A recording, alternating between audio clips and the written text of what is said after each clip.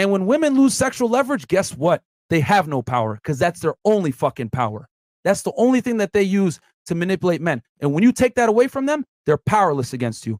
That's why society does everything in its power, guys, to not let you know your worth. They do everything in their power to put women on pedestals. They do everything in their power to make men come off as second class citizens and she's entitled to your time and attention and you need to be a gentleman, all that shit. Fuck that. We live in 2021. Chivalry is dead and women killed it.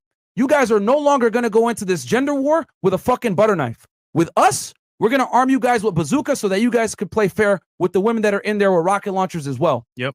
Because that's the truth, man. Y'all got to know this is the world that we live in, and times have fucking changed. You can't be a traditional man in a world where women are no longer traditionally women. You got to play by their rules. You got to treat them as expendable commodities, just like they treat us like expendable commodities. Period.